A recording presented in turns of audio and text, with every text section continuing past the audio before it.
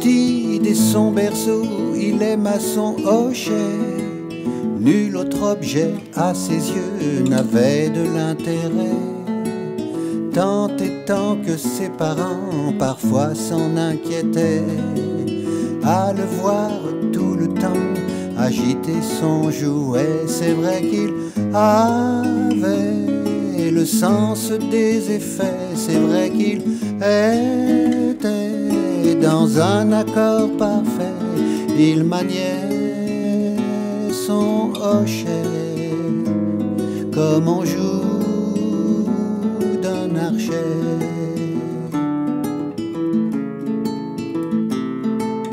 Les fait pencher sur son berceau souriait.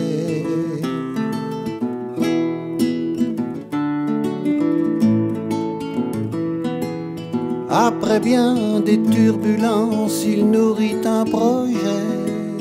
Durant son adolescence, toujours il s'exerçait.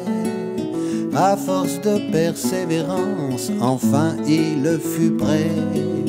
Il devint champion de France au jeu de Bilboquet. C'est vrai qu'il avait mérité le respect. C'est vrai qu'il était en droit d'être satisfait.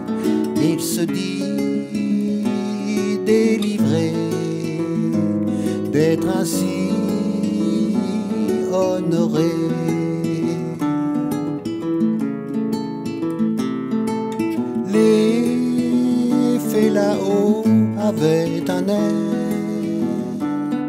Satisfait.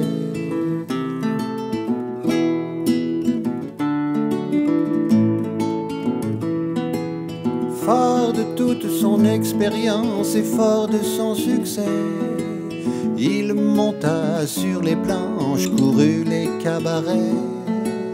Il présenta un spectacle que nul n'avait fait. Il rencontra son public et les gens l'admiraient. Les fils se croisaient et puis se dénouaient. Les boules dansaient. Un vrai jeu de ballet et toujours retombait en plein centre des piquets.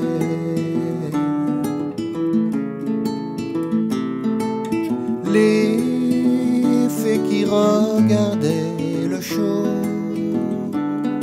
s'inquiétaient.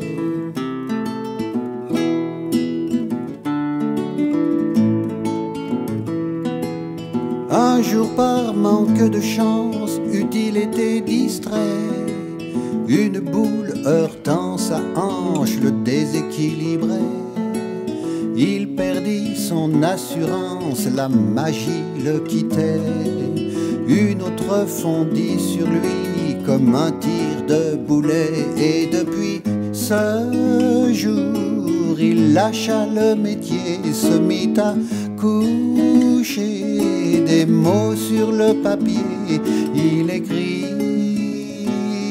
sa chance d'avoir été aimé.